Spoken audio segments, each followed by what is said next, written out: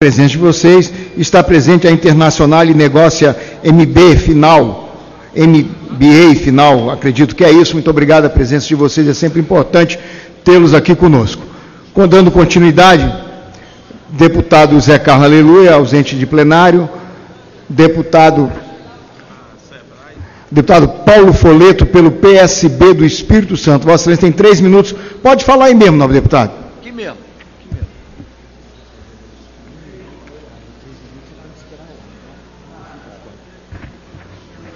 Alô, presidente Manato. Ontem foi o Dia Internacional de Combate à Corrupção. O Ministério Público Federal, os Ministérios Públicos Estaduais fizeram todos eles a sua, o seu dia de luta, chamando atenção para um momento difícil na história dessa nação, onde a corrupção praticamente ingressou no setor público e não deixa que a gente tenha a prestação de serviço na necessidade da nossa população.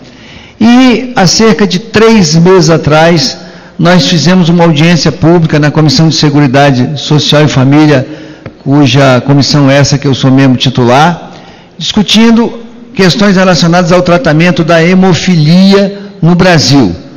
Brasília tinha um centro, tinha um centro de referência mundial, onde a doutora Jussara faz um tratamento, um, faz um trabalho fantástico, e vinha gente do Brasil inteiro para se orientar, para se tratar aqui em Brasília. Só para orientação, só para exemplo, os hemofílicos de Brasília têm um time de futebol e jogam um campeonato. Não há sangramento articular nenhum, o objetivo é sangramento zero. Esse serviço foi desarticulado pelo, pelo mandato anterior do governo, do governo anterior, do governo Agnello, e a doutora nos procurou reclamando inclusive de suspeição na troca da empresa que trazia tecnologia para o tratamento de hemofilia eh, no Brasil. Nós fizemos audiência pública, convocamos o, o presidente da Hemobras, o diretor técnico, estiveram conosco, fizeram os esclarecimentos, mas ficava a dúvida, o porquê de tanta mudança no, no processo de fornecimento de fatores para prevenção do sangramento dos hemofílicos. Ontem, a Polícia Federal, na Operação Pulso, desbaratou um esquema pesado de corrupção na Hemobras. Mais um na história dessa nação.